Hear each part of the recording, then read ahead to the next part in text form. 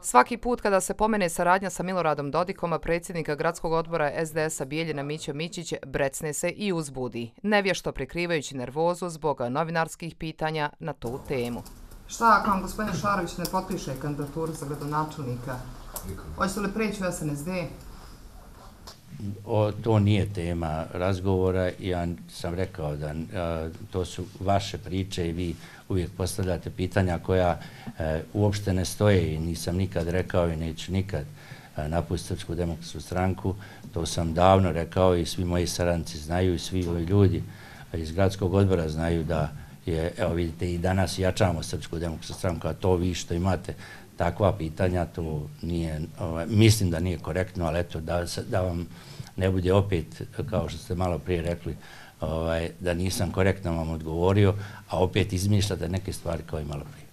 I dok uporno tvrdi da ostaje privržen SDS-u te da novinari izmišljaju koje kakve informacije o njegovim sastancima po kafanama i hotelima sa Dodikom, Mićić sve nevješto demantuje. S dozom opreznosti ne želi ni da pominje Dodika, ali je, kako kaže, spreman i za svađu. Jeste li se juče sastali sa liderom SNSD Miloradom Dodikom u hotelu Fairbank na Jakorinu?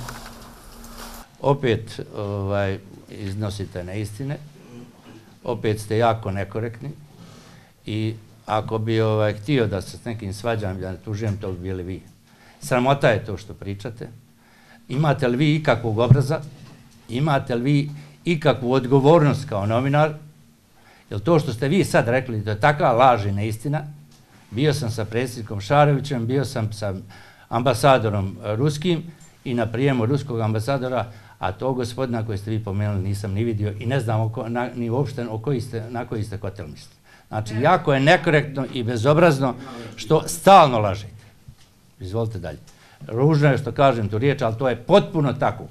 Izvolite dalje. Mislim da nije na mjestu to, te konsultacije koje ste mi uputili. Ovo je potpuno istina. Pa ja potpuna istina. Potpuna istina je to i nema nikakvih problema. Ja ne znam, ne znam u kojem hotelu pričate. Uopšte nije uopšte ovaj, način da, da, da tako pitate kad nije bilo teme razgovora, niskim, ne, nemam pojma laž ili ne, ali tako je Mićić govorio i prije mjesec dana, kada ga je Dodik demantovao i potvrdio da su u kafani u Laktašima dogovarale zajedničku saradnju SDS-a i SNSD-a u Bijeljini, a bez učešća Šarovića.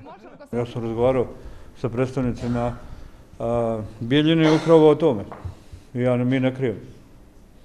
Traži se način kako dogovoriti zajednički djelovanje u okviru Bijeljine. Nisam vidio Mirka Šarovića.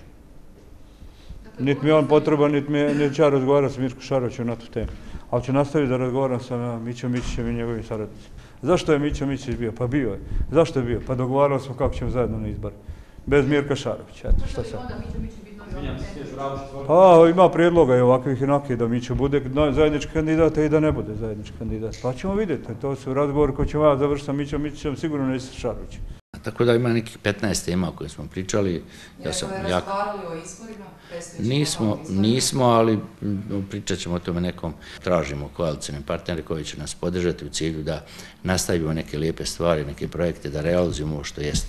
Pa tu smo da podržimo... Hoćete biti kandidat SNSD-a? Neću biti, kako će biti kandidat SDS-a? Pa da vas podrži? Pa kako, kako ću biti kandidat kad sam kandidat SDS-a, a to ćemo vidjeti uh, u narodnom periodu ko će mene sve podržati. Iako vrh SDS-a odlučuje s kim gradski odbori i kandidati mogu praviti koalicije, naši sagovornici odlučno tvrde da je Mićićev plan da pod barijakom SDS-a, a uz podršku SNSD-a, bude kandidat za gradonačelnika Bijeljine. Za ostvarenje toga plana vjetar u leđa daće mu upravo Dodik, pa će njemu u SNSD-u nakon izbora predati Semberiju koju do sada nisu uspjeli upisati u kartu vladavine SNSD-a.